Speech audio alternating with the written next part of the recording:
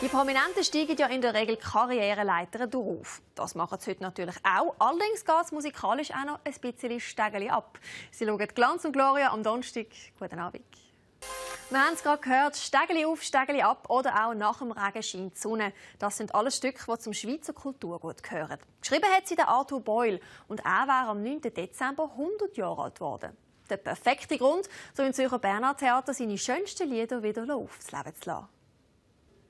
In Vergessenheit geraten ist der Blick zwar nicht, aber man hat schon ein Zeitchen nicht mehr viel von ihm gehört. Klar, er ist in der Zwischenzeit auch Papi geworden. Und genau in dieser Rolle hat er sich jetzt zum ersten Mal richtig gezeigt. Mit einem seltenen Einblick in sein Privatleben. Das sind die News für heute.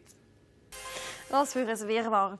Eine Frau für zwei ist dafür das Tennis als Serena Williams. Um einen Dieb zu fangen, der ihr in einem Restaurant das Handy geklaut hat, hat sie Superwoman-mässig die Verfolgungsjagd aufgenommen. Die ganze Räubergeschichte und ob sie das Handy jetzt wieder hat, erfahren Sie auf unserer Webseite. Freude über Zuwachs hat auch der Bastian Baker. Und nein, bevor jetzt seine weiblichen Fans kollektiv aufschreien, er ist nicht Papi geworden. Bei ihm handelt es sich um ein neues Album.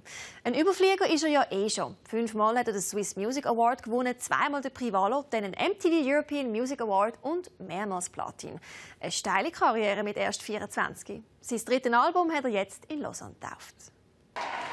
Apropos erfolgreiche und gut aussehende Männer, solche haben wir auch morgen in der Sendung. Dann wird man mit der GQ Männer des Jahres Award verliehen. Wer was wie und wo, das zeigen wir Ihnen dann. Ich wünsche einen erholsamen Donnerstagabend.